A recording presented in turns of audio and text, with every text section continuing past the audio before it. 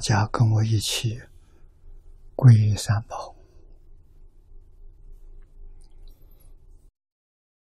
阿舍利存念，我弟子妙音，师从今日乃至明存，皈依佛陀、两祖中尊，皈依大摩利欲中尊。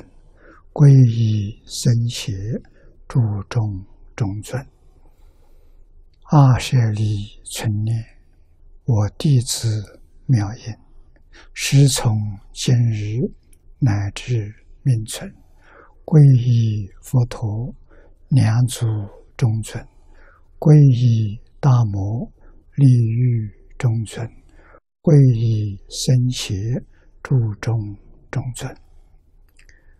阿舍利存念，我弟子妙音，师从今日乃至明存，皈依佛陀、两祖中尊，皈依大摩利欲中尊，皈依僧伽诸众中尊，请看大经可注。第二百二十三页，倒数第五行看起啊，倒数第五行，广狭自在无碍门，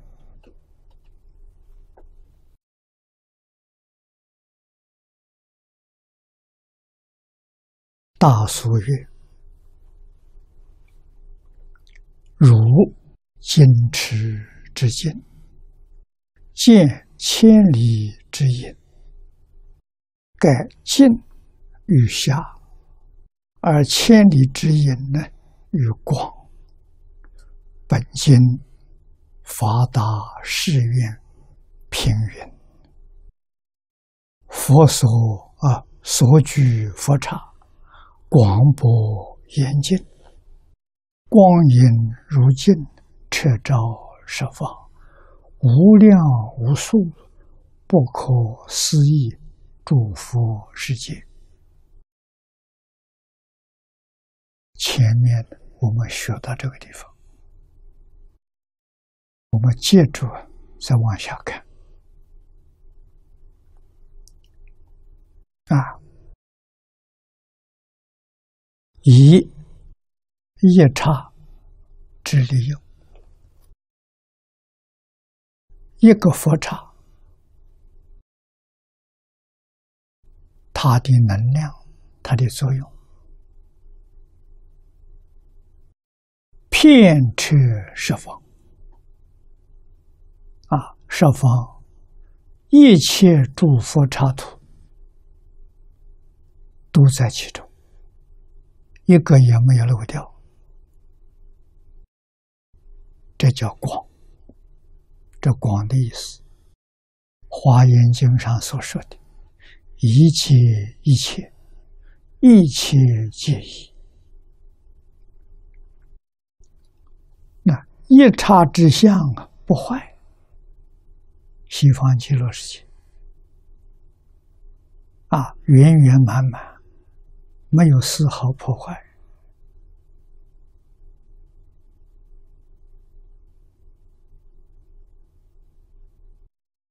那利用无限之光，它起的作用，就是变法界虚空界，十方三世一切诸佛刹土，都在这一刹里头见到了，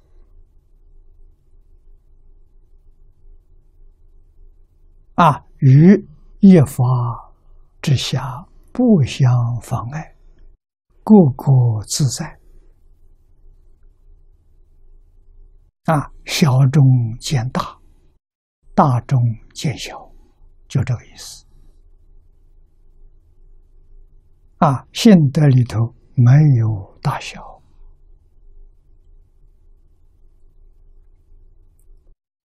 故名广狭自在无碍。啊，下面又说：“遇见诸佛净国庄严，在极乐世界，你想见到十方一切诸佛刹土，悉与宝树见见。啊，极乐世界的宝树放光。”光中现茶，在宝树里头见到，犹如明镜读其面相，啊，就好像你在镜子里面看到面孔一样。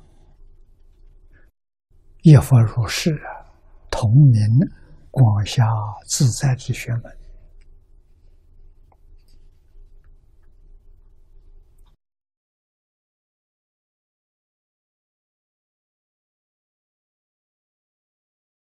经上还有例子很多，《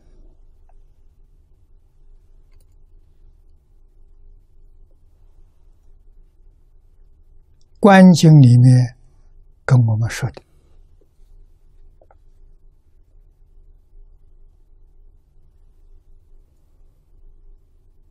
正报里头，阿弥陀佛报身。啊！现在十宝庄严图，这个身有八万四千相好。啊，一般经上讲的释迦牟尼佛的身，三十二相八十种好。弥陀的报身，身有八万四千相。每一个相有八万四千毫随行号，每一个毫放八万四千光明，每一道光明里面都见到十方一切佛刹的一真庄严。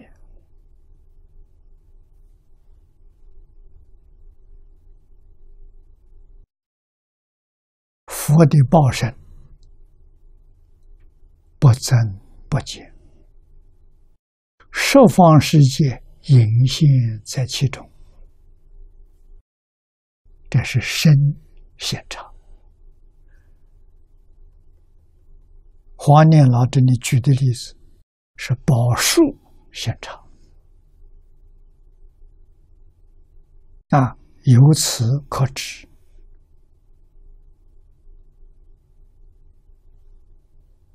光狭确确实实没有妨碍啊，自在无碍啊！啊，《华严经》上告诉我们，尤其是不可思议。华严讲一微尘啊，微尘之小。我们无法想象，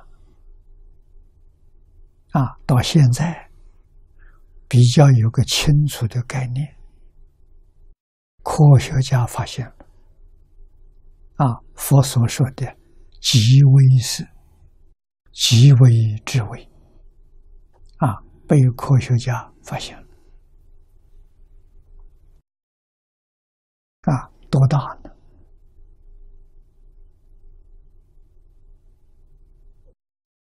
科学家叫他做微中子，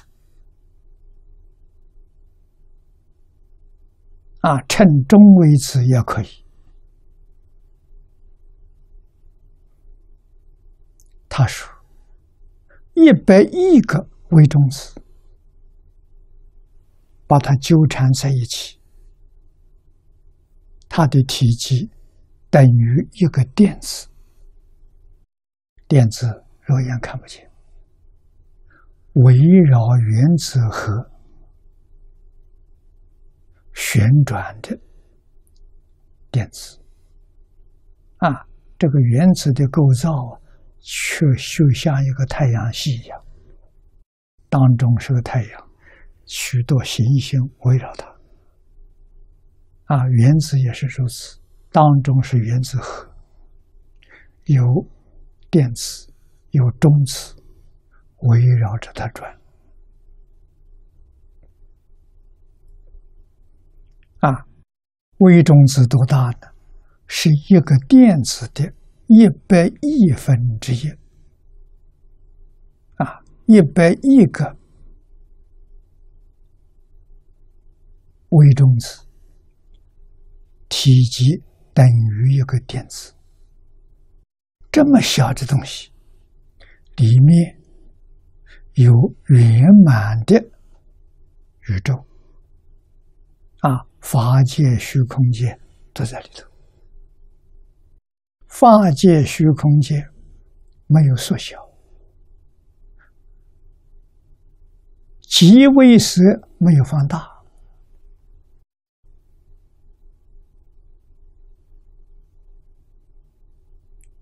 他们没有障碍，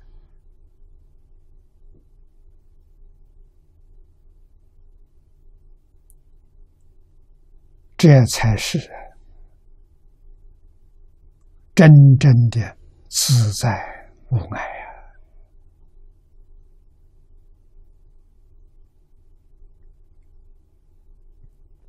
啊！啊，谁能进去呢？《华严经》上说。普贤菩萨能到微尘法界里面去？参访诸佛如来，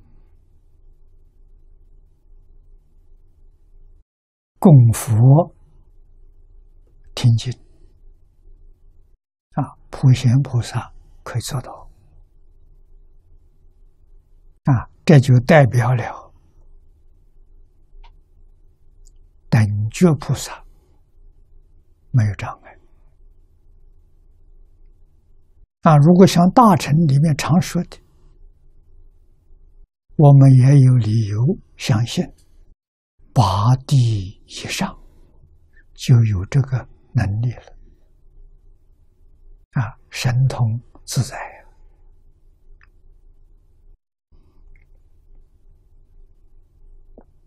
所以，中国古人有两句话，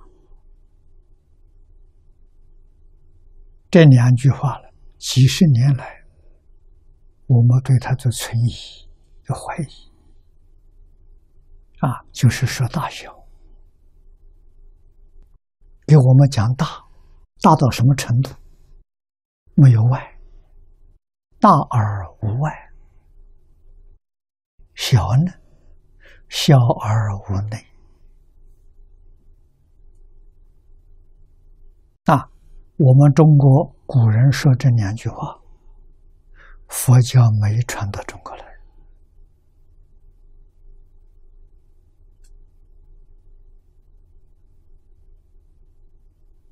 啊！这个说法与释宣门相应。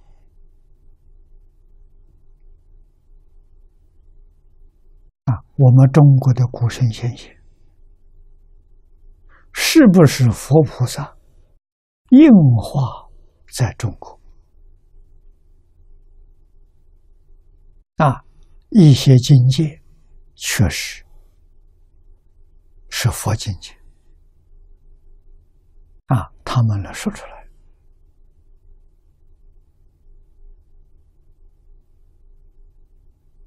如根道。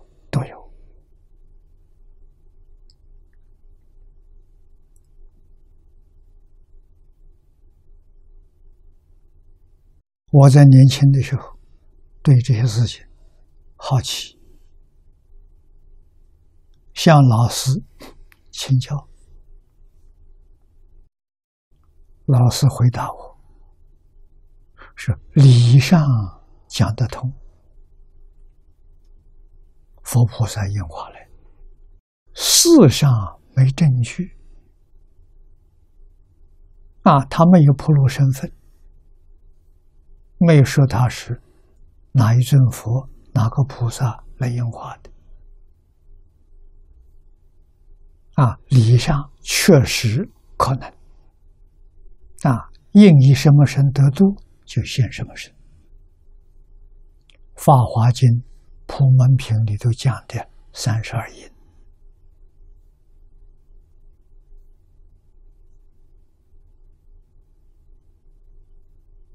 宇宙确实非常奥秘呀、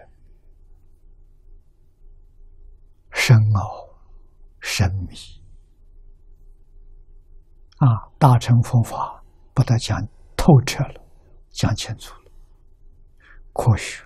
哲学，这是他们最高的命题。什么时候能得到答案？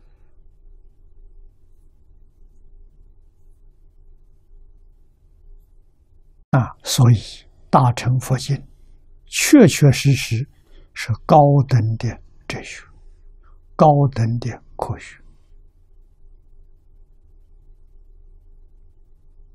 啊，科学往后越进步，跟佛经上讲的就越相应了。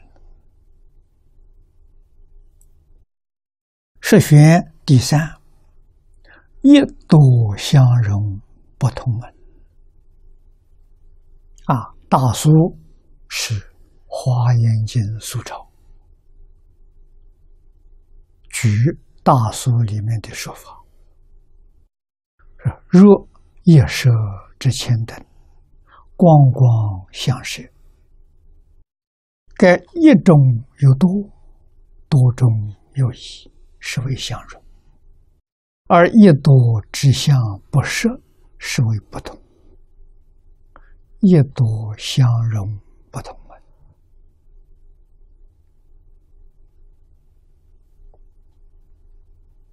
啊，下面。华严经上经文，《华严奴舍那佛品》里面说：“以一国土满十方，设方入仪，也无余。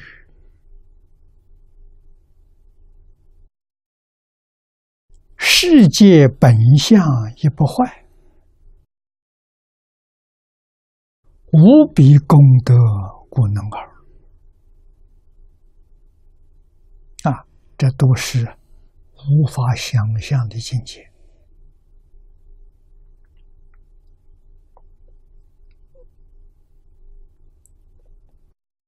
下面念老给我们解释：一土满十方，十方入一方。这相容之意，本相不坏，这是不同的意思。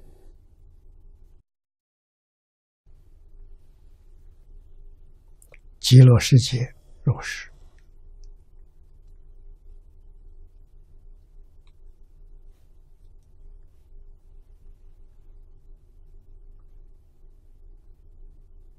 啊，极乐世界是发现的。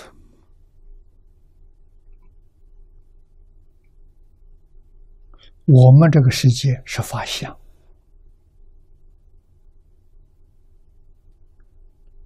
法相还是一一发现，没有发现哪来的相？那我们现在问题在哪里了？迷了，着相不见性，这是六道反复。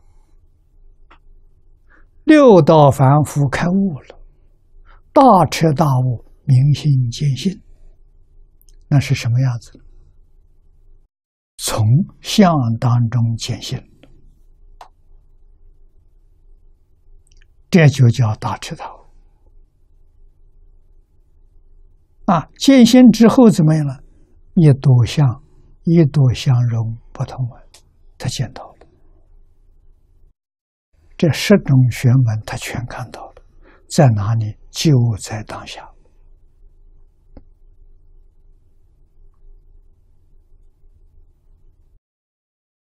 这入诸佛境界，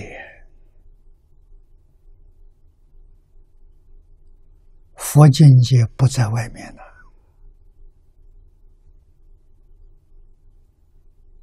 佛境界距离我们不远了，就在眼前，就在当下。啊，一根多同时见到。一点障碍都没有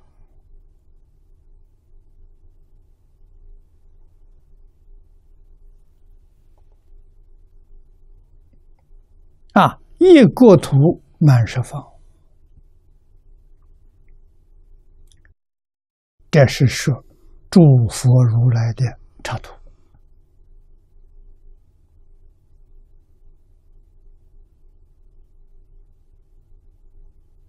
啊，十方诸佛国土，在这一国土里面，你也通通见到。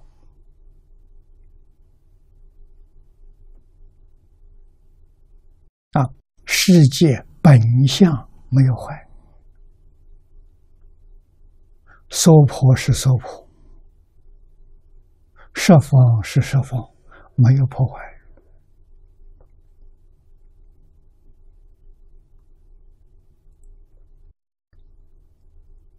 设方入一方，这是相融；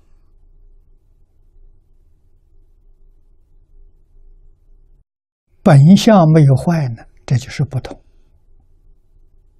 同中有不同，不同里头有同，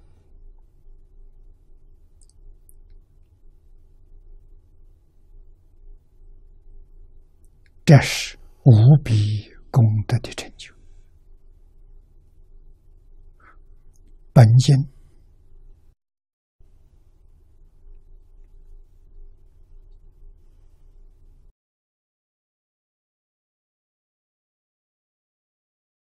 弥陀宝相普心愿文四十八愿里面所说的，国土所有一切万物，皆以。宝相合成，其相普熏十方世界，这是极乐世界。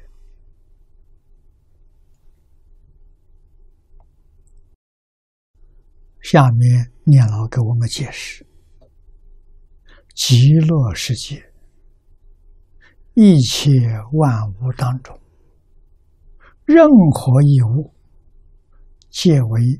无量宝相所成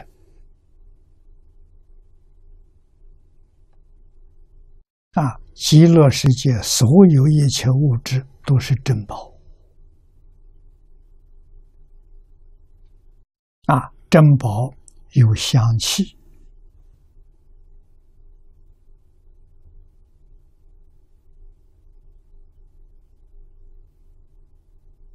啊，那么就是。无量的宝相，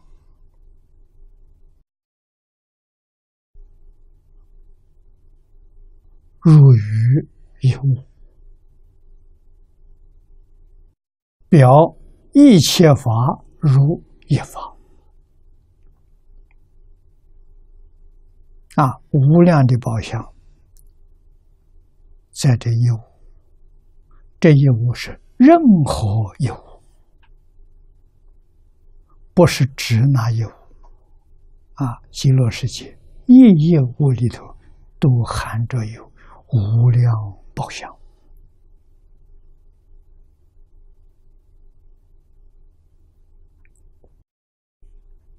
这个表一切法若于一法，表啊一多相融，又一物之一相与。众相之多相呢，共存，表两相不同又慈相呢，又便于设方。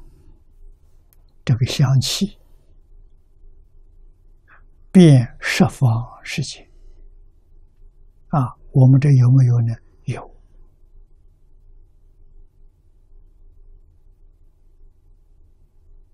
我们现在的鼻根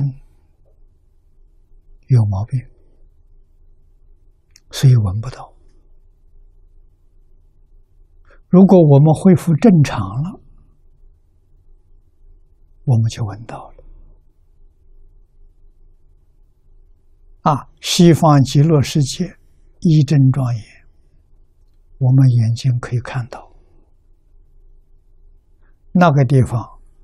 佛说法的音声。啊，自然天佑，我们可以听到。啊，极其美妙的音声，确实没有障碍，因为它都是遍十方法界的啊，我们迷失了自信。六根的能量大幅度的升起障碍，应当看得见的看不见了，应当听到的也听不到了。《金刚经》上说：“无言曰明。”实际上，无言是一个言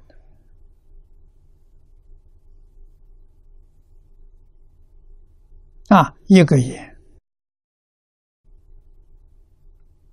迷惑有前身不同。佛的眼没有迷惑，他什么都见到；佛的耳没有迷惑。他什么都能听，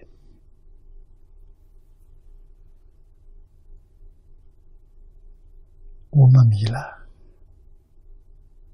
啊！这个肉眼，隔一张纸就看不见了啊！天眼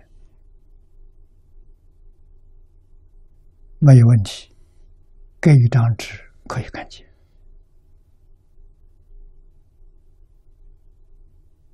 我们讲，它能透视。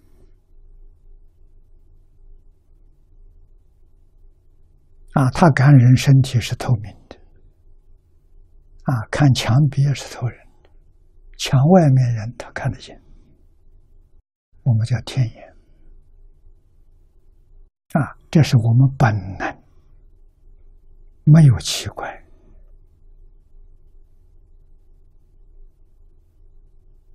佛在经上告诉我们，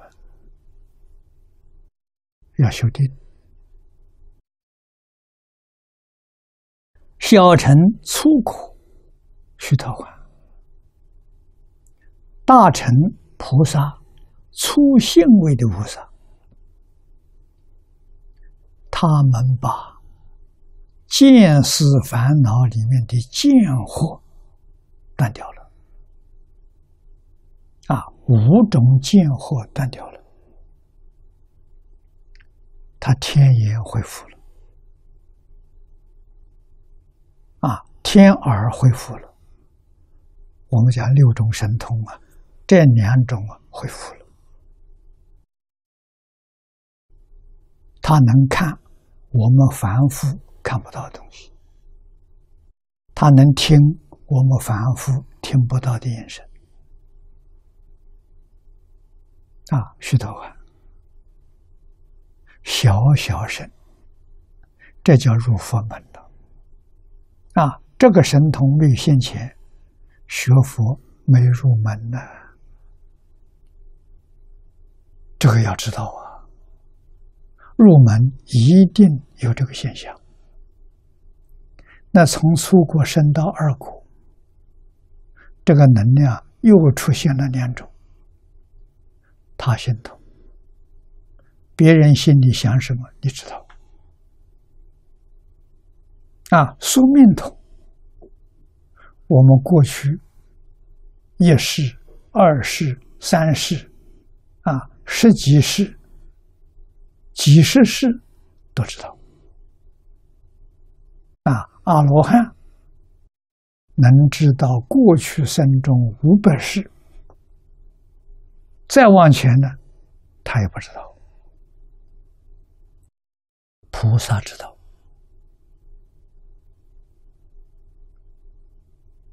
啊，那我们从我们知道，菩萨五十一个阶级，其实就是定功功夫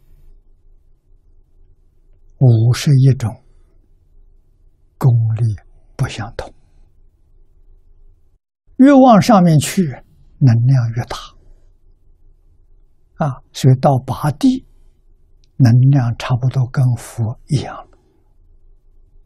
就是完全障碍全部突破了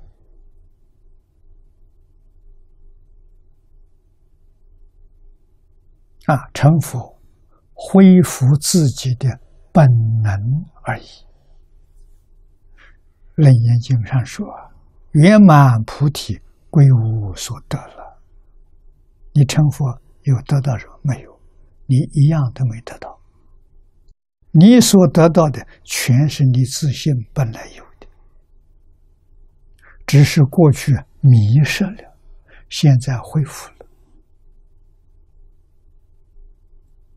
啊，所以是你本有的，不能叫得。啊，得是什么？得是从前没有啊，这才叫得了。本来有的迷失了。现在不迷了，它恢复正常了，这怎么能叫得呢？所以说，圆满菩提修行圆满了，到妙觉如来的果位了，你什么也没得到。无量智慧、无量神通、无量相好，是你自信里头本来具有的。慧能大师。明心见性，他说出来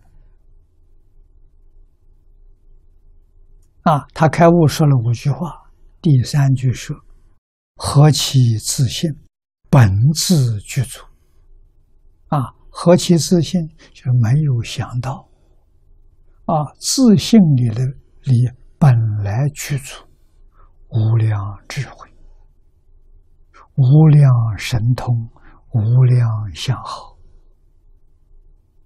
啊，一切无量是自己自信本自具足的，自信外面什么也没有。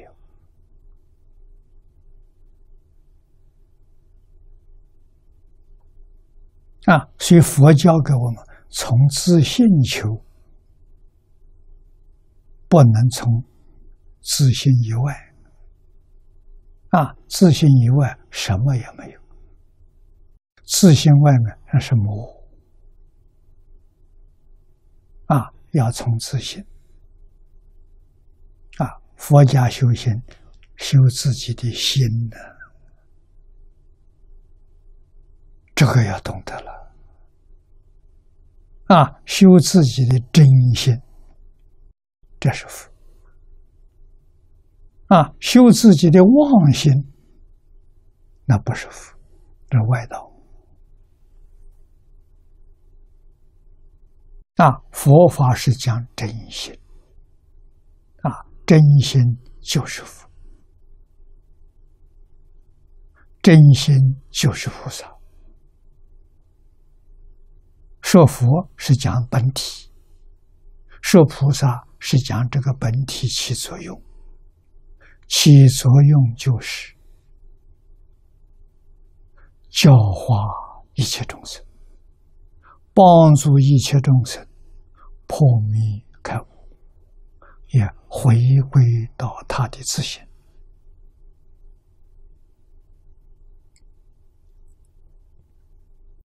这是佛陀教育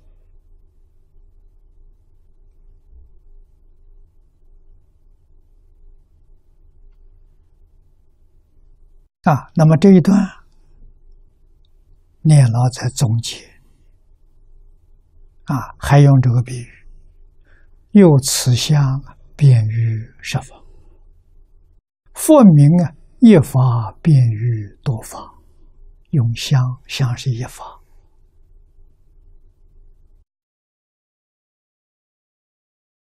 啊，它能够遍十方，十方世界都能闻到，所以一法便于多法。更显一多相融，不同之妙。一里头有多，多里头有异，互相包容又互相不妨碍，这个妙下面第四段，诸法相即自在门。第三是讲相容，这一段呢要说相即。敬意华严是作品，华严经在中国有三次翻译，啊，最早的东晋。啊翻的这个华严，我们叫它做六十华严。六十卷，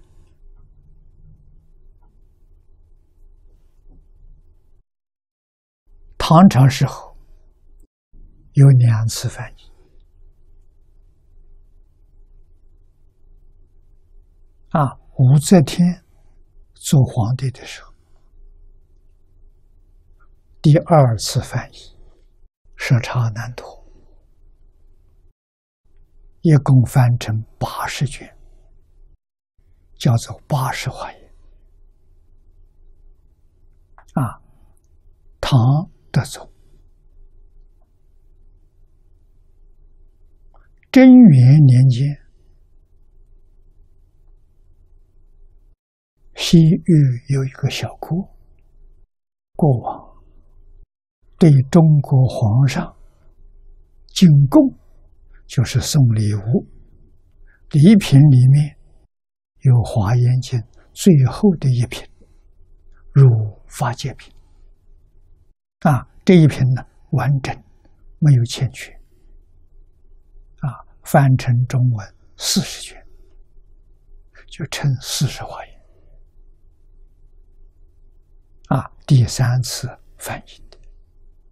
那么这些译本通通都保存下来了啊，《大藏经》里面都有。静怡是主品里头说，一界是多，多界是一。譬如水之于波，一水呢，比喻一；一波呢，比喻多。啊，波就是水。水就是波，彼此相即，而过自在。故云相即自在。前面讲相融自在，这个地方给相即自在，下面就是啊，啊，水是静的。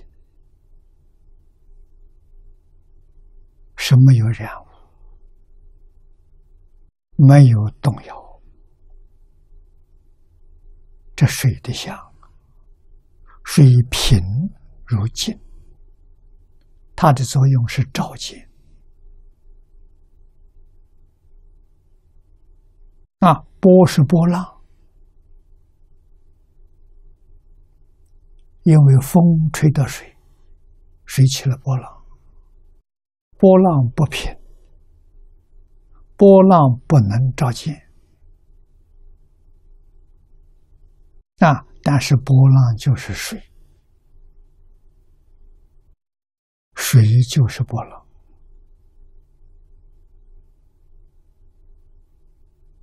体是一个，相不一样，波浪是动的，水是静的。啊，水能照见，波浪不能照见。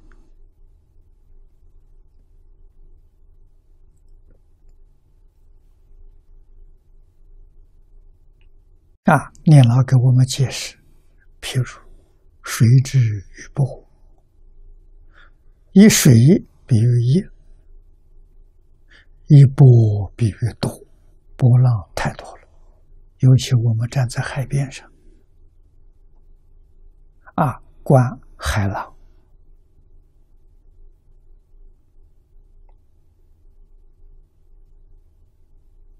啊。波界是水，水界是波，彼此相契，而果自在，故云相即自在。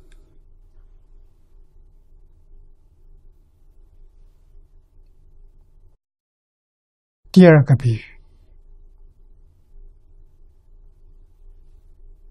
有大苏云，这是。八十卷华严的注解，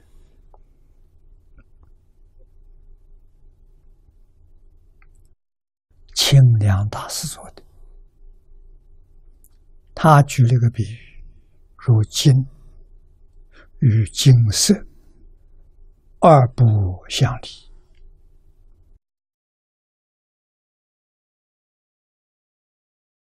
黄金的体。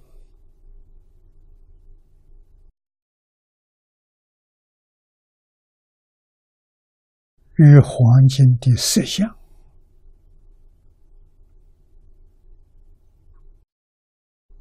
是一，不是二啊！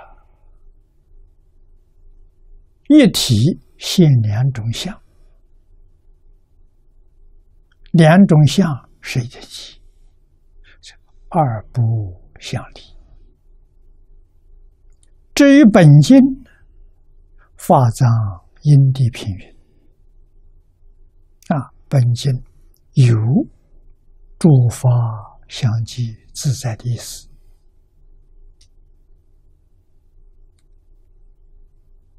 啊，举出本经的经文：世尊能言一言神，有情个个随类解。啊，这是因身。佛为大众说法，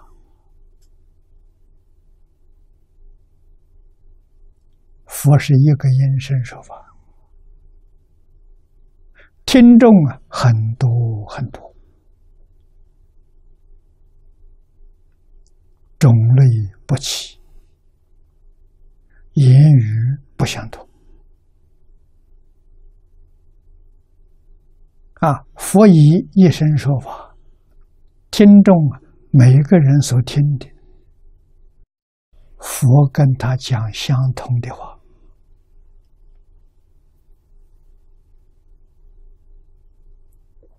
佛有这个能力啊！不但每一个人都听懂，每一个人听的都是我们自己使用的语言。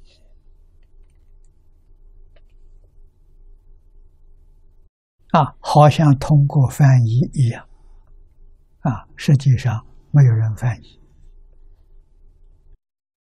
更妙的呢，每一个人所听讲的内容不一样。啊，我想听华严，听的真的给我讲华严经；你想听无量寿经，你听到就是讲无量寿经。啊，那个人想听《法华经》，他听确实就是《法华经》。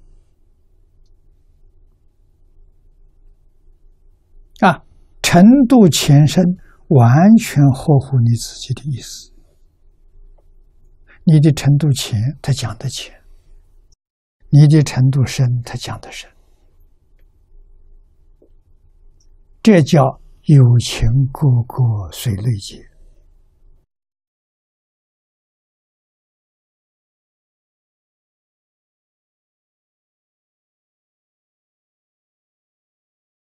极乐世界妙啊！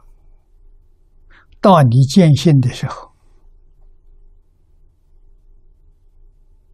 你也有这种能力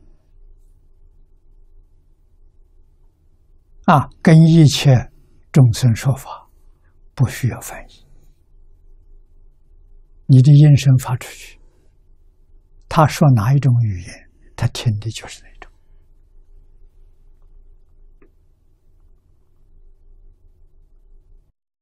这什么原因？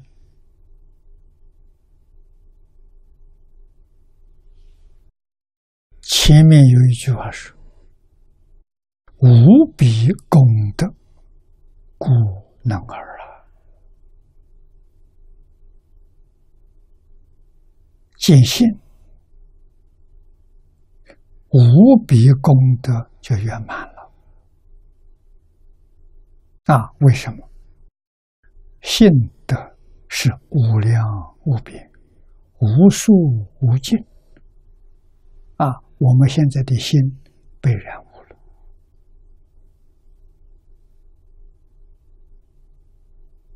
自信功德不能现前。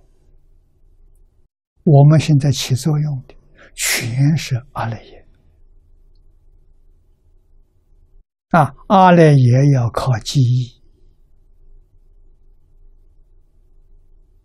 啊，记忆是阿赖耶里面落谢种子。啊，我们学过的东西，阿赖耶里头等于说有档案、有资料，要把这些资料取出来用。啊，这不是见性，见性没有阿赖耶识，不需要这些资料。啊，自性功德跟一切众生感应道交，众生有感，自然现前，不一样啊！啊，所以修行一定要知道，八万四千法门，无量法门，净土不例外，门门都是。见性才叫圆满啊！没有见性不圆满啊！圆满的见性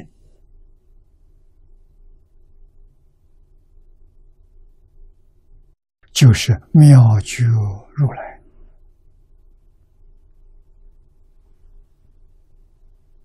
啊！这是菩萨。所需求的果证啊，他真果就是真妙觉，圆满的回归自信，就这个意思。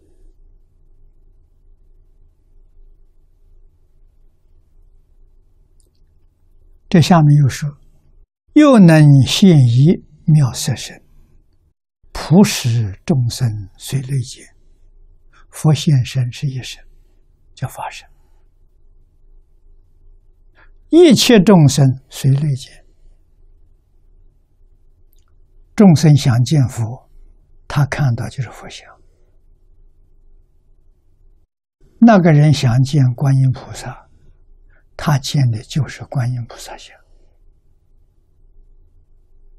啊，另外一个人我要见弥勒菩萨，他看到就是弥勒像，不一样。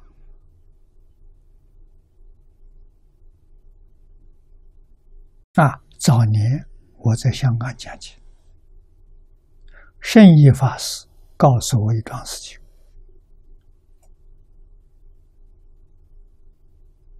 是真的，不是假的。那个时候大陆还没有开放。我第一次来讲经，七七年，好像是八零年，啊，还没开放。圣一法师跟另外一位法师两个人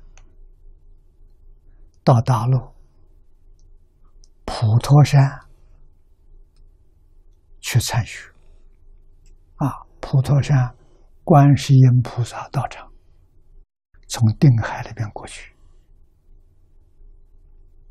啊，大陆有一位法师陪他，他们三个人啊，到朝阴洞去拜观音菩萨。啊，听说在那个地方拜了洞里面的观音菩萨会现身，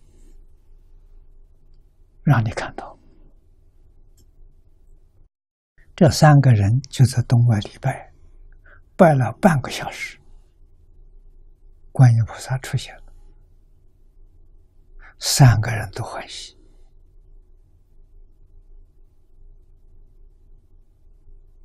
啊，离开之后，三个人就说了：“你看到没有？看到了，都看到了，什么样子？”说出来啊，三个人见到的不一样。啊，深夜法师见到的是头戴毗卢帽，就像地藏菩萨那个帽子，戴那个帽子，全身金色，啊，站在那个地方，他看到这个像。啊，另外一个，也就是跟圣意法师一道去参去参访的。香港的法师，他见到的是白衣观音啊。我们通常看到塑造的像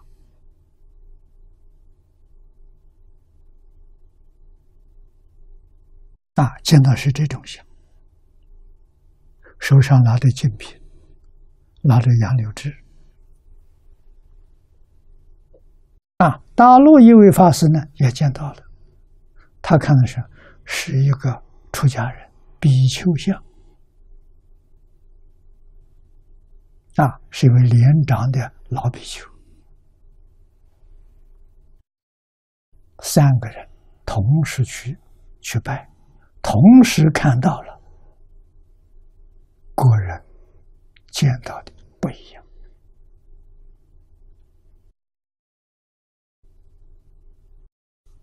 菩萨是现一个妙色身呐，众生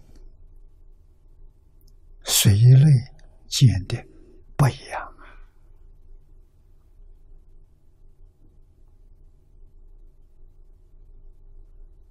一名一音中有一切音，一生中呢有一切声。一切皆一，一切一切，多皆是一，一皆是多。如水于波，水平的时候是一，水多的时候千波万波。啊，一水多波。是相即自在之意。有经中，这是我们这个经，歌谈福德品，其俗三花，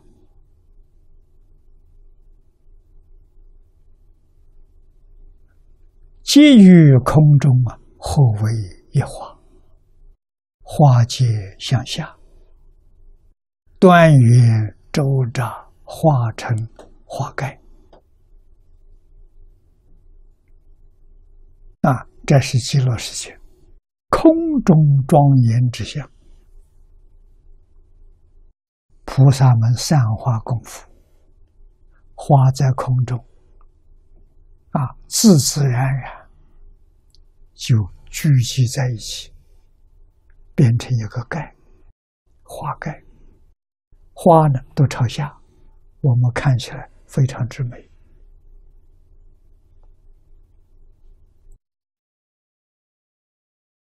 啊。那么多花，很多花变成了一个花盖，多即是一。一花当中含有多花，这就一即是多，这个花盖里头许许多多花，是为本经中显现的第四学门，诸法相即自在啊。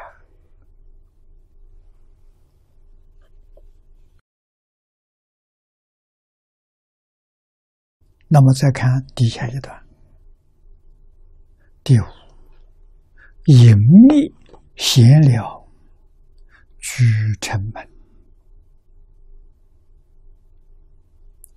这是隐现，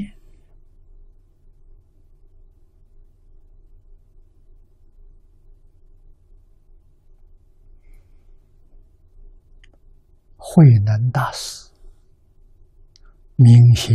见性，他的报告第三句是因，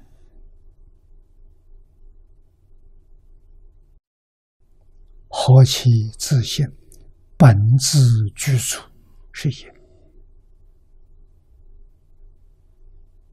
第五句是现，何其自信，能生万法。啊，万法是现。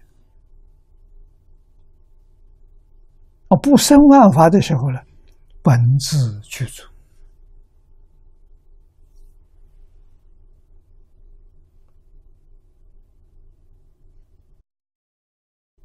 隐显，同时看到，是明心见性的。啊，我们凡夫。隐秘见不到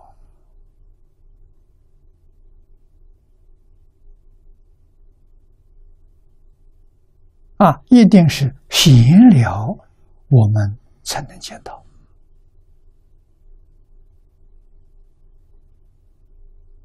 隐现自在呀，隐现居成啊。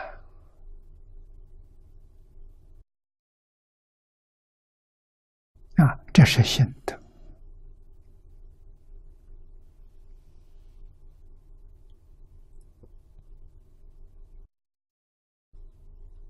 华严大书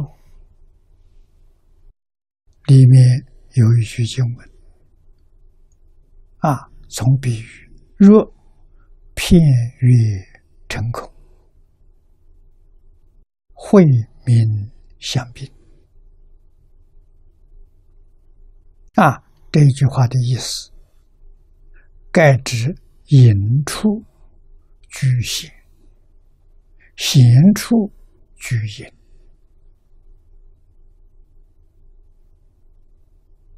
隐显同时。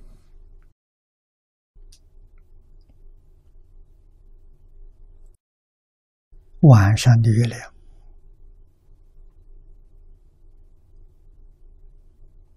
有一层薄薄的云彩盖住，看到月光，月光若隐若现。啊，实际上在白天，我们常讲日月同辉，我们常常看到，啊，月亮。跟太阳同时看到，月亮在东方，太阳在西方，啊，看得很清楚，啊，看到这个景观，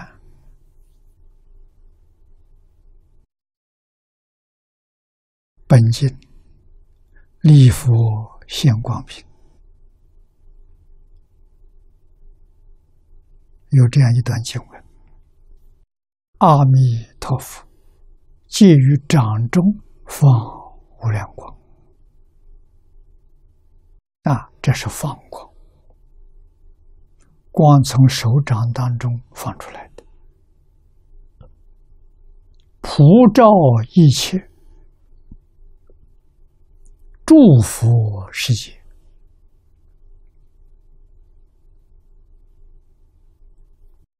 一切祝福世界在佛光当中显现出来。啊，十诸佛国，界悉明现，如出一旬。一旬是很近。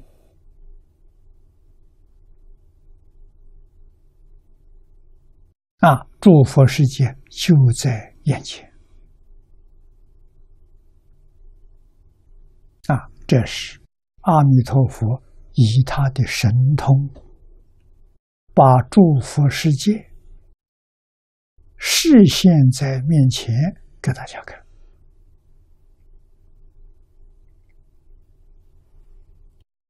啊，又你看得很清楚，乃至。泥泥，这是地狱；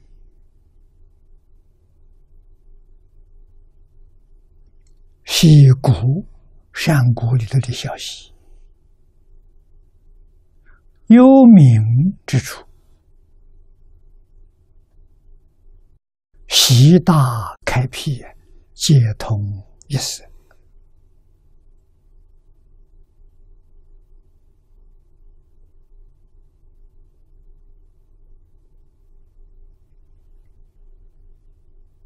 啊！阿弥陀佛以神力，十方世界里头有六道，让你看六道里面的地狱道。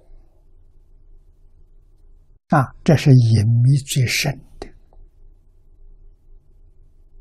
啊，这个地方更最深的地方见到了，其他的都不必说了。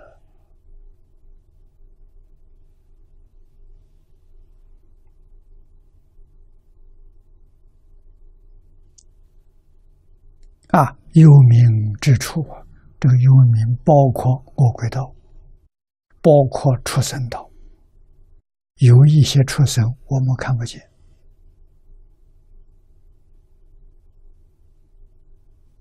啊，因为他在幽冥之中，西部幽冥，我们不容易看见，西大开辟，皆通一色。啊，佛光当中全都照见，犹如借水，这是取个比喻。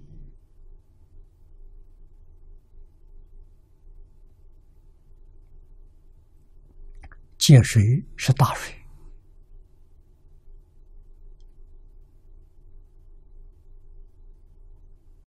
是大山灾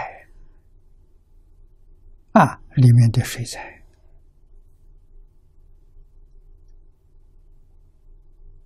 火灾能烧到初产田，水灾能淹到二产田，风灾能吹坏三产田，四产没有三灾了，所以四产叫福田。六道众生，福报最大的住在四禅，四禅没有三灾八难啊，三禅还免不了风灾。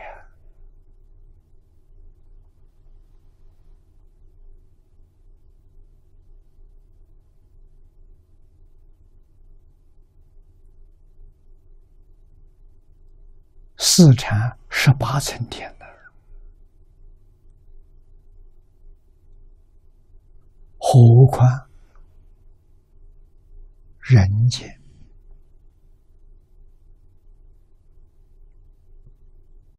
那？我们看到人间里头有不少动物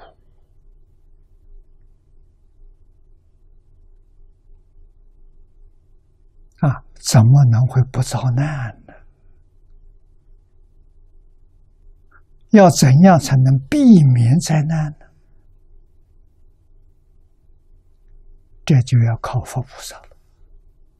佛菩萨大慈大悲呀，事先在六道教化了这些迷惑众生，帮助他们断我修善，破迷开悟，就能化解三灾八难。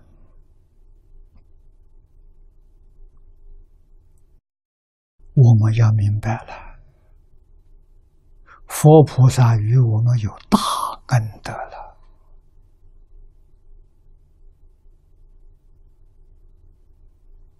啊，过去的人知道，现在的人不知道。为什么？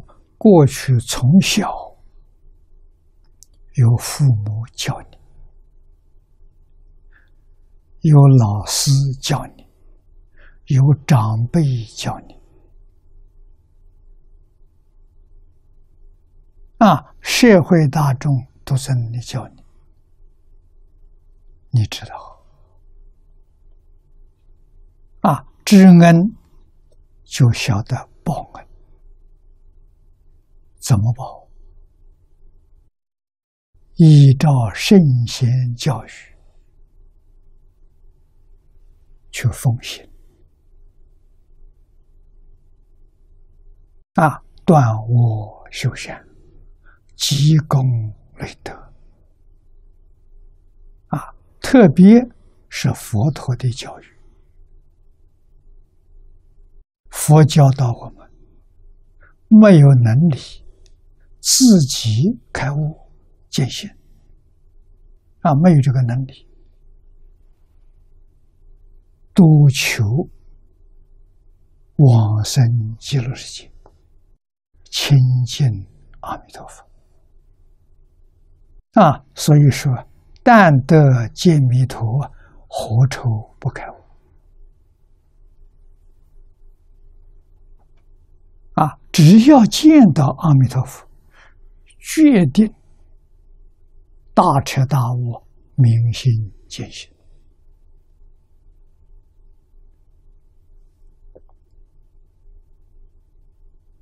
这就功德圆满了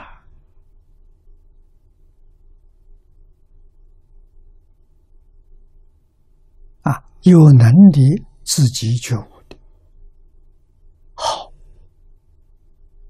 啊，但是怎么好都比不上求生净土啊！为什么？自己修行时间很长。啊，五十一个阶级，一步一步向上提升，要多长时间？要无量劫，很不容易啊！没有像到极乐世界那么快速啊。极乐世界是成佛的捷径，是成佛最近的道路。啊，一生当中就能圆满成就，不用经过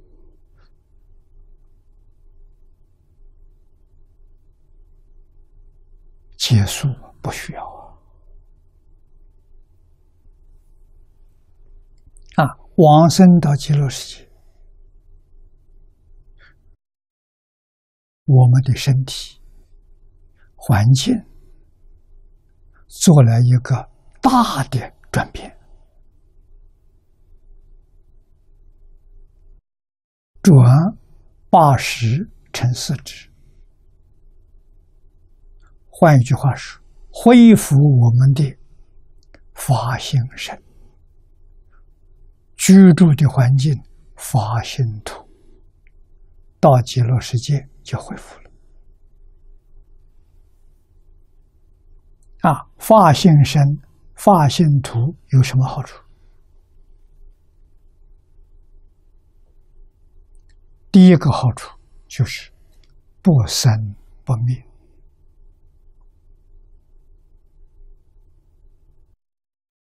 释迦牟尼佛的娑婆世界，十法界一真庄严，都是有生有灭，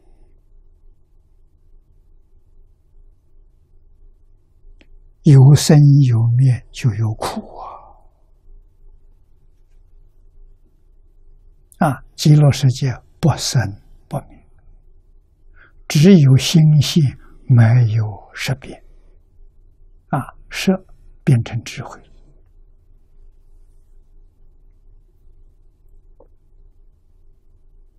阿赖耶变成大圆镜智，莫那变成平等性质，啊，第六意识变成妙观察智，前五识变成成所作智。去极乐世界没有烦恼啊，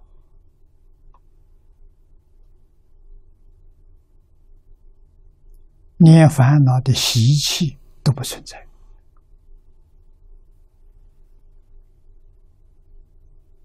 啊！这个地方不能不去。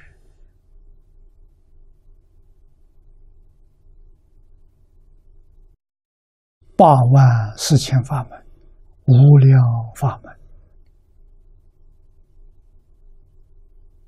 没有一个法门能跟极乐世界相比。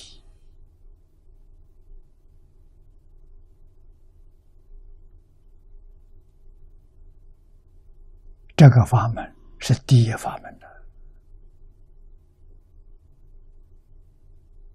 稀有难逢啊！很容易修成，但是很难相信。啊，一切诸佛都说，这是难信易行之法，成功太快了。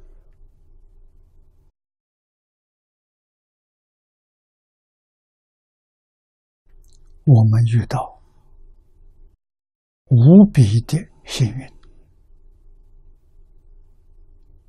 啊，这一生能掌握，就圆满菩提。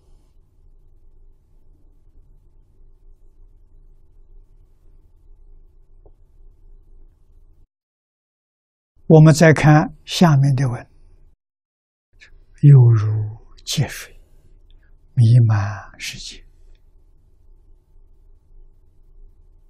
其中万物沉默不现。荒洋浩瀚，唯见大水啊！这这个确实，这是大山寨里面水灾啊！啊，淹没到二天天的啊，用这个来表。彼佛光明，一佛如是，声闻菩萨了，一切光明，悉皆隐蔽，唯见佛光明耀显赫。啊，这是用这个大水比喻佛的光明。啊，这个界水。把世界上所有一切通通淹没了啊！实际上，我们地球上百分之七十是海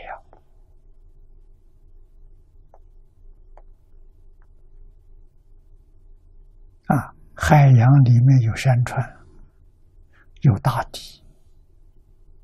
完全被水淹没了，看不见了。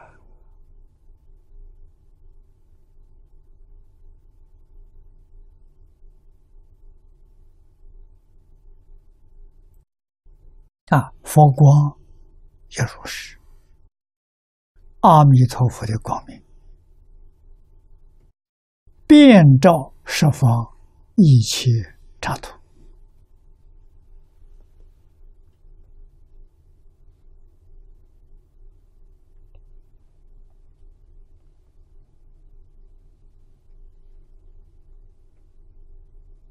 啊我们接着看下面念了的说起啊，表一切法，即于佛光之一法。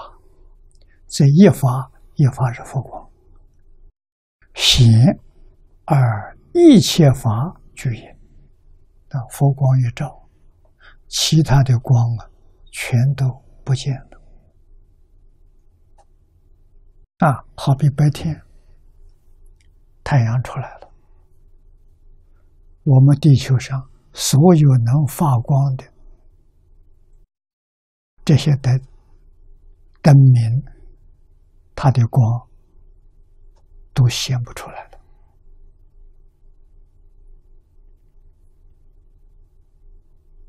啊！看到佛光，唯见佛光啊，明耀显赫了。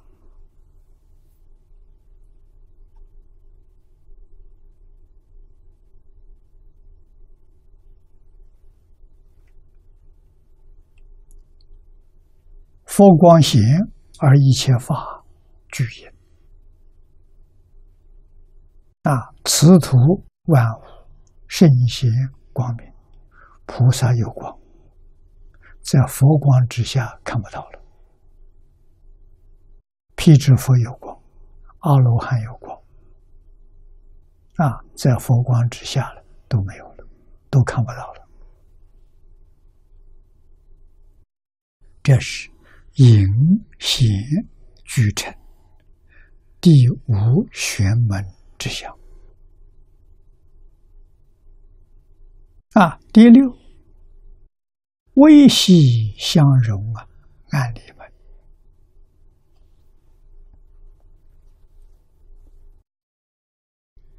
大所语，清凉大师《华严经》注解。如琉璃瓶，成多芥子，用个比喻来显示。琉璃瓶，古时候没有玻璃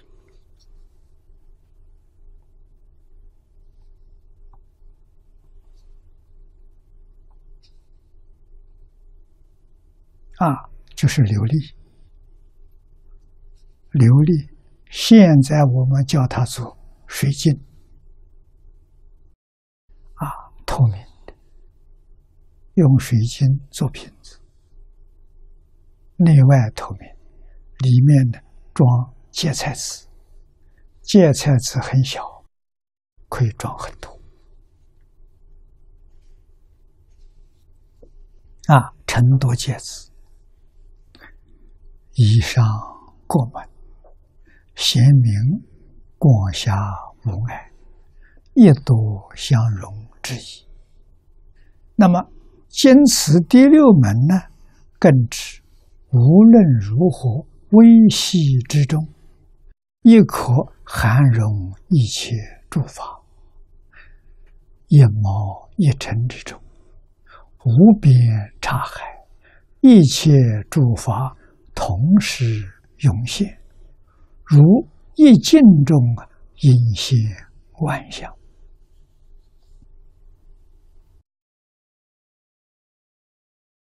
微细相融。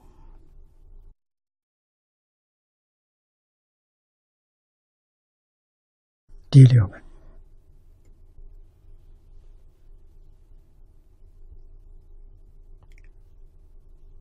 华严上说明。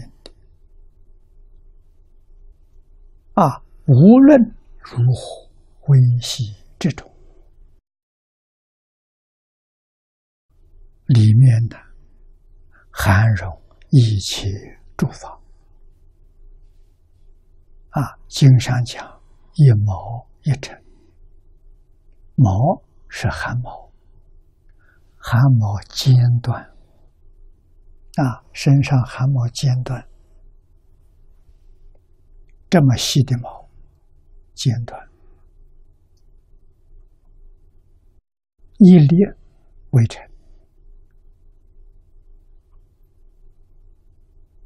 啊，一个毛端一粒微尘。微尘在哪里？就在毛端。这一粒微尘在毛端上，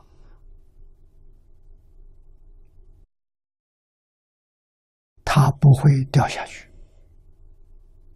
啊，无论身怎么转动，不会掉下去。为什么？它太小了，毛比它大，毛有吸引力把它吸住。啊，像地球上一样。地球很大，引力很大，地球上所有一切物质不会跑掉。虽然地球有很大速度在自转，啊，这里面通通不会丢掉。啊，这叫引力，啊，地心引力是一毛的引力，那一尘在这个毛尖端上如如不动。啊，这个尘之小，啊，毛之大，尘很小，啊，但是这一尘当中啊，有无边长海，无量无边诸佛的国土，在哪里？在一尘当中，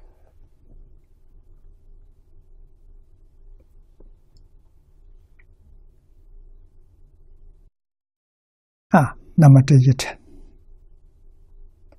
大乘经》里头叫做“极微色”，啊，佛经上的名字叫“极微色”，又叫做“极微之微”，又叫做“灵虚尘”，啊，它是物质最最小的现象。这个物质呢？不能再分，你把它一分，分作两个，它就没有了，啊，它就不见了，所以叫灵虚尘，跟虚空做邻居，啊，一分就不见了。这个东西被现在量子力学家找出来了。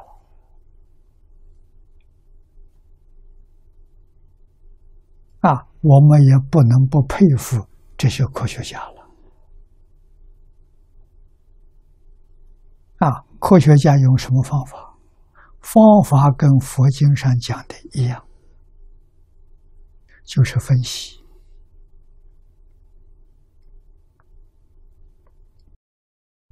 大概在八十年前，科学家发现原子。当时认为原子是物质最小的，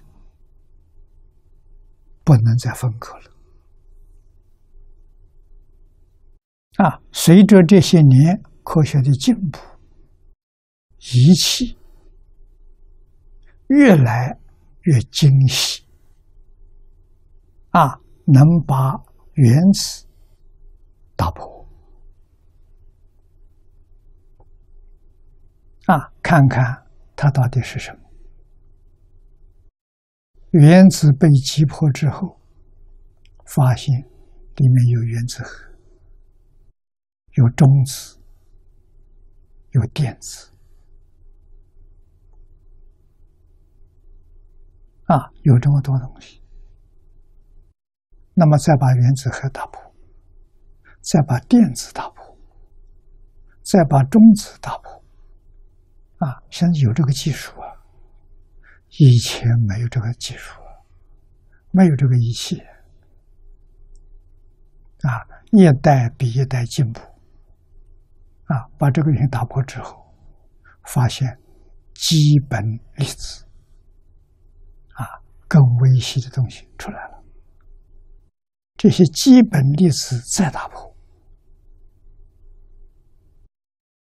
发现。夸克啊，夸克还不算最小，再把它打破，发现微中子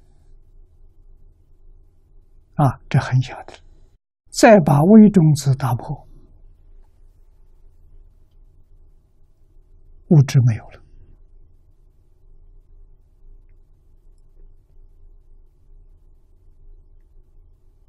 啊，发现什么呢？发现念头波动的现象。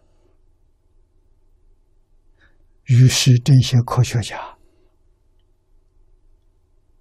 恍然大悟啊！原来物质是假的，所以他们发表报告，根据他们研究所得到的结论。这个世界上根本就没有物质这个东西之存在。那物质是什么呢？物质是念头波动产生的幻象。这个事实真相被发现了。那么，发现报告的结论跟佛经上讲的完全相同。啊，佛说。极微之微打破了，再分了就没有了，物质现象没有了。啊，是什么东西呢？是念头波动产生物质现象，所以佛说色。有心生，相有心生。说色说相，都是指物质现象。物质现象从哪里来的？佛说了，从念头来的，从心生的。啊，科学这一个发现，是一个非常了不起、革命性的发现。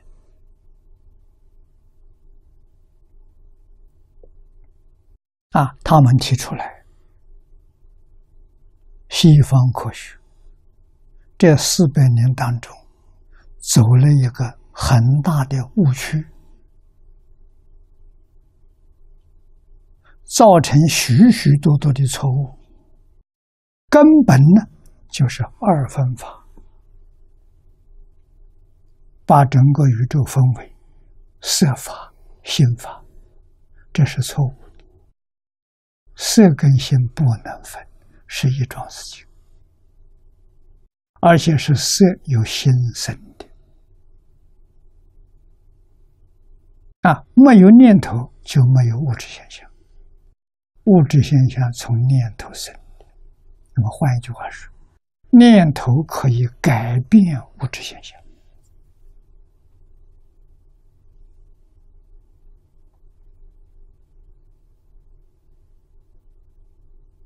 啊，第一个就用在自己身体上，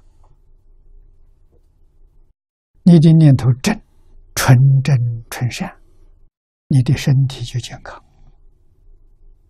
百病不生。啊，生病呢，一定有不善的念头所引起的，不善的念头制造出带病毒的细胞。细胞是物质现象，所以佛家讲贪嗔痴叫三毒，贪嗔痴慢疑叫五毒。如果心里有这些东西，你的身体细胞里头就带着有病毒，那就是。一切病的根源，如果明白这个道理，把病毒放下，与一切法不贪、不嗔、不痴、不傲慢、不怀疑，你身体完全健康，你的细胞没有一个带病毒。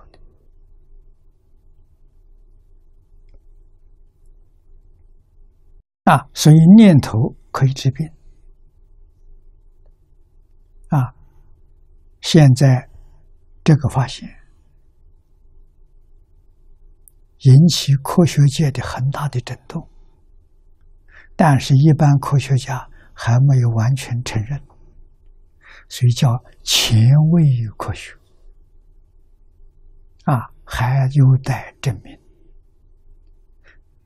他们到处收集证据啊，来证明这个理论是真实的。啊，收集证据的第一个目标呢，就是得重病啊，医院放弃治疗啊，这些人只有等死。那么这些人里面有不少是信仰宗教的，他们就找这些人来做实验的对象。啊，信仰宗教人知道寿命不长了，只有一两个月了。他万愿放下，一心祈祷，求神带他到天堂去，带他到天国去，把自己的病呢不理了，通通放下了。啊，根本就不想他了，只想天堂，只想神。想上帝，啊，念佛的人只想佛，想极乐世界，其他的通通不要，一念不生。哎，这样过一两个月没死，再去检查，病都没有了，好了。啊，这个医院医生说这奇迹，无法解释，奇迹，啊，但是真的，真有不少人。健康恢复了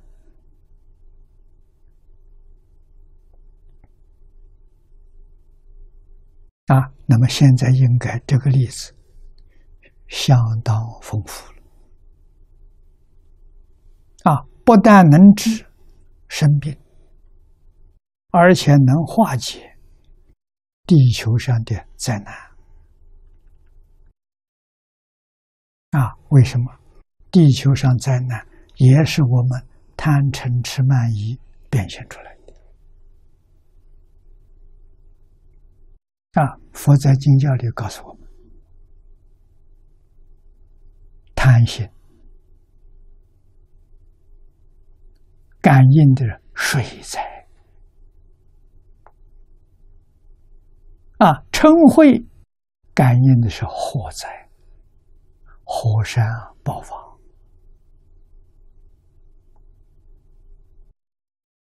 地球温度的上升，这都属于火啊！脾气太大了，嗔恚心太重，愚痴所感应的是风灾，傲慢所感应的是地震，怀疑所感应的是山崩地陷啊！高山倒下来了。大地突然陷下去了，啊，山崩地陷，现在这些灾难到处都有，啊，山崩地陷以前有听说，但是很少，现在好像很多，很多地区都发生这个现象，地。突然陷下去了，怀疑，这贪嗔痴慢疑，无度啊！我们的念头改变了，地球灾难就没有了。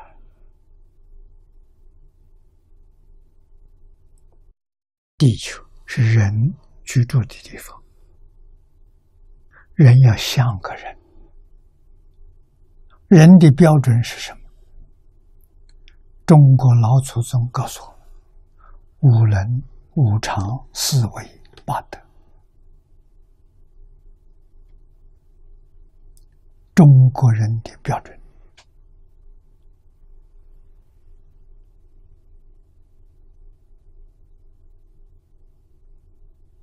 啊，那么佛的标准，佛告诉我们：人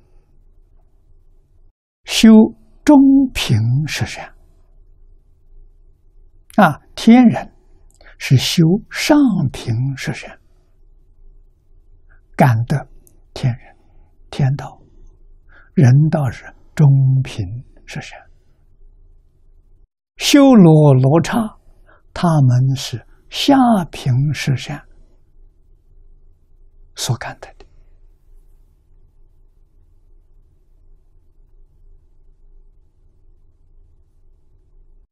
福报很大，福报往往超过我们人间。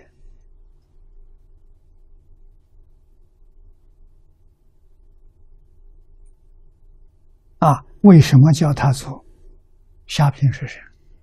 实际上，他们所修的上品是神。为什么上品变成下品？因为他有傲慢。他有嫉妒，这个严重烦恼没有放下，啊，带着傲慢、嫉妒修上品是神，果报叫阿修罗，有天人的福报，没有天人的德行，天人慈悲也。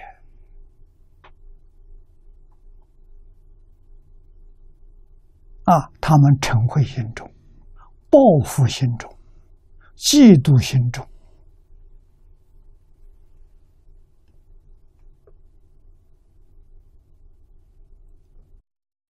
再把他们这一道啊称为三善道里面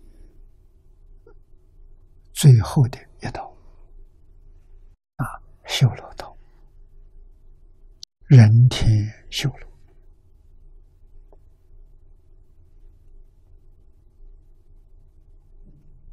啊，那么下面有魔鬼道，有畜生道，有地狱道。啊，恶鬼贪心所感，地狱嗔恚所感。畜生愚痴所感，所以我们要断贪嗔痴，永远没有三恶道。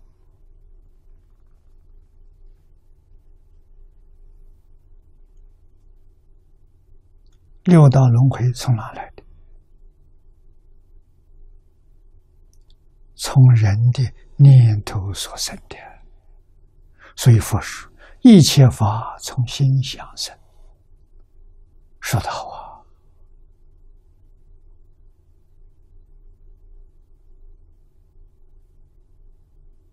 啊，现在被科学家证明了，一切法真的从心想生。心想从哪来的？啊，追根究底，现在科学家。底下这个命题 就是念头到底是什么？现在在研究这个啊，研究的报告不少啊，很多书店都能看得到。念力的秘密，念力的能量，都是这一类的报告啊，越来。越靠近佛法了，啊！佛告诉我，念头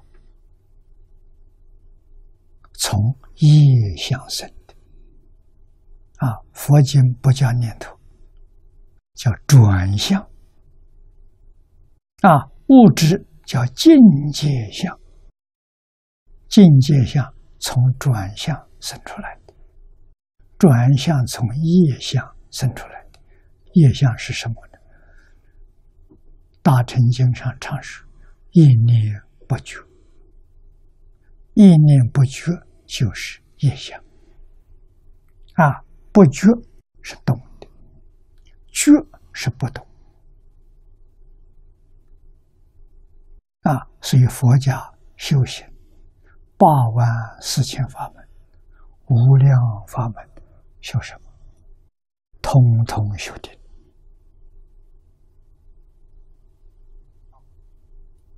不是别的，所以《金刚上经上说的好：“法门平等，无有高下。”啊，不管哪个法门，通通修的禅定。啊，为什么修定？因为自信本定，真心是定的，妄心是动的。我们现在有念头。有起念，念起念灭，这是妄心，这就是阿赖耶。啊，真心真心不动，所以我们能放下妄心，妄心起心动念，我们眼见色，耳闻声，啊，真正修行怎么修法呢？看得清楚。听得明白，这是慧啊！自信本具的般若智慧，清楚明了，没有起心动念，这是定。自信本定啊，清清楚楚、明明白白、如如不动。这就叫佛，这就叫本来面目啊！你本来就是这样的。华严经上说：“本来是佛，本来成佛。佛不从外头来的，放下就是。”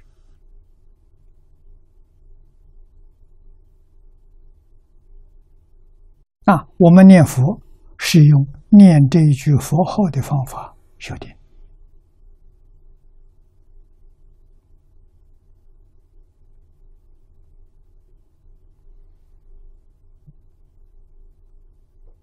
开悟了。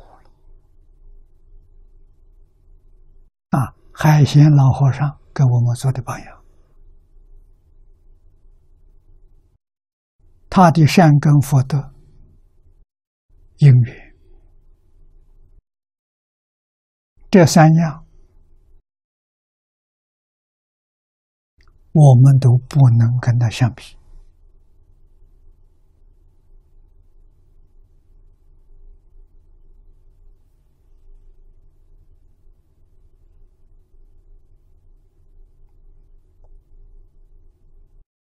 弥陀经上所说的，弥陀跟无量寿是同一步。可以相同。经上说，不可以少善根福德因缘得生彼国。啊，什么叫善根？善根是智慧，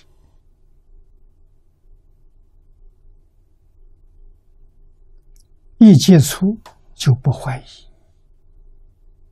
就相信。这是善根的，福德是什么？福德是定，是清净心。啊，我们常讲，老实、听话、真干、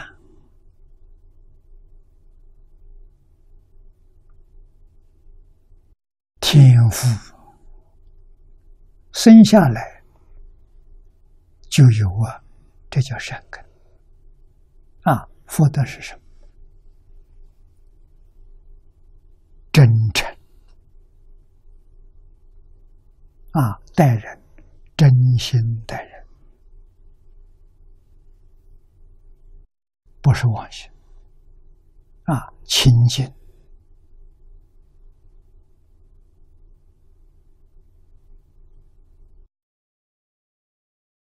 心里头没有被染污，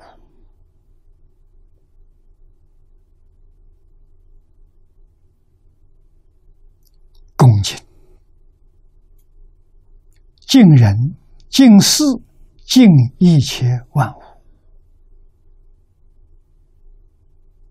啊，我们在金忏佛寺里头拜忏忏仪，第一句话，一切恭敬，我们会念没做到，口里恭敬，心里头没有。啊，要身口意通通去除。印光大师说：“一分诚信得一分利益，十分诚信得十分利益。”一个人有这三样，啊，真诚、清净、恭敬，这个人有福啊！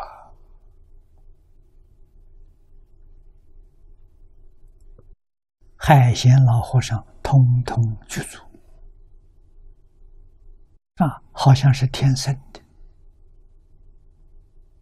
前世就带来的，他就那么老实，就那么样诚恳。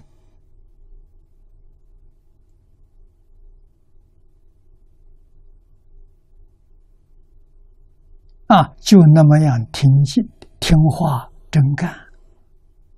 啊，对人、对事、对物，恭恭敬敬。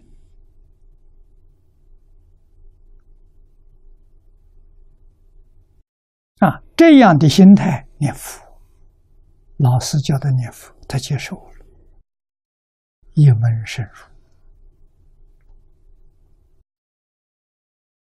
他念多久成功了？我们有理由相信，因为我们在《往生传》上看到，在《净土圣贤录》里面看到，许许多多念佛往生的，大概在三年，啊，三年前后。是不是？他们那个时候寿命都到了。有人问过我，我说没有那么巧的事情，两个、三个或者可能，不可能有那么多啊！那这到底是怎么回事？情？三年功夫成片，功夫成片就能够自在往生。我想去，就去得了。啊，这样的功夫，每个人都可以做到。你好好念三年，一心一意向西方极乐世界。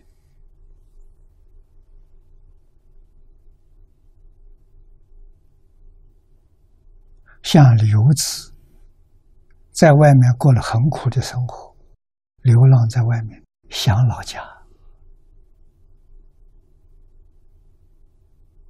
啊，想自己的父母，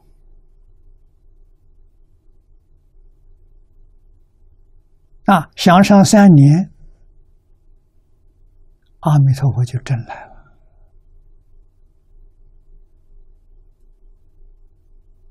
啊就是大势至菩萨告诉我们的：“一佛念佛，现前当来必定见佛。”这是现前见佛。我们功夫一得力，佛知道了，他来安慰我们，啊，增长我们的信心，来告诉我们，你还有。多少年的寿命啊！等到你寿命到了的时候，我来接引你。你看，这就等于给他做了证明了。这哪有错的？啊，自己很清楚。那么有些聪明的人。知道机会很难得。还有寿命不要了。啊，我现在要求跟你说。啊，佛会答应。佛很慈悲。有求必应。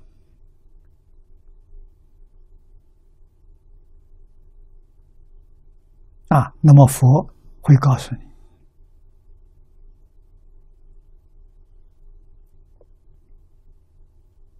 啊，答应在什么时候来见你？啊，有人两三个月之后，有人一两个星期，个人情形不相同，佛替你安排呀。啊，啊第二次见面就是给你约定时间。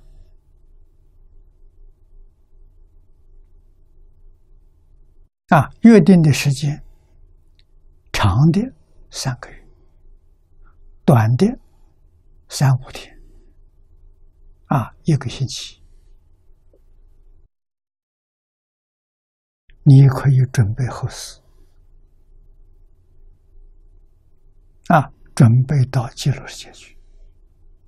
所以第三次见面，你看到佛带着莲花。来接引你啊！一般往生应该是三次见佛啊。海贤老和尚那么长的寿命，我觉得不是他自己的，是佛力加持的啊。为什么要留着他表法？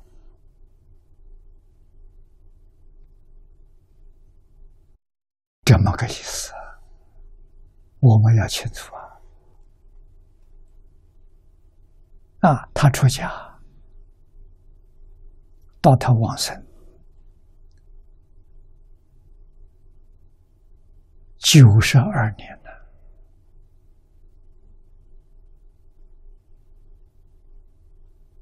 啊，九十二年这么长的经历，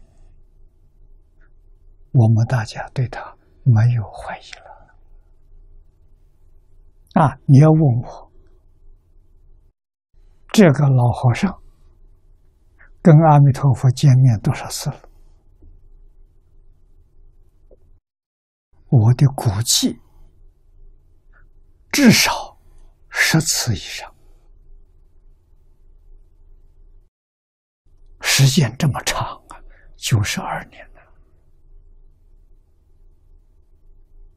啊，决定不是三次，啊，十次以上，常常见佛，啊，功夫，他决定是上上品往生，决定是礼业心不乱，所以他说我什么都知道，什么都知道是大彻大悟、明心见性人所说的。啊，他有没有道理？有。啊，因为他老实，他真干。他三年功夫成片，再三年事业心不乱，再三年礼义心不乱。得到礼义心不乱，就是明心见性，应该在什么时候？四十前后，他就得到了。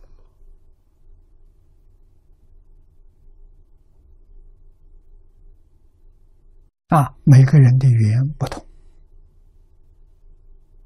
每个人呢使命不相同。啊，他的使命是给我们表法的，他自己说的很清楚，表法就是做榜样给大家看。啊，在我们这个大时代。念佛人要想往生极乐世界成佛，就学他那个样子就行了。他是我们最好的榜样，所以我们要把他的光体当做无量寿经来学习。啊，一天看三次，一年看一千次，就成功了。你也有能力往生。一年的时间，啊，一天看三遍，念一万声佛号，啊，天天不缺，一年，你一定会成功。啊，今天时间到了，我们就学习到这。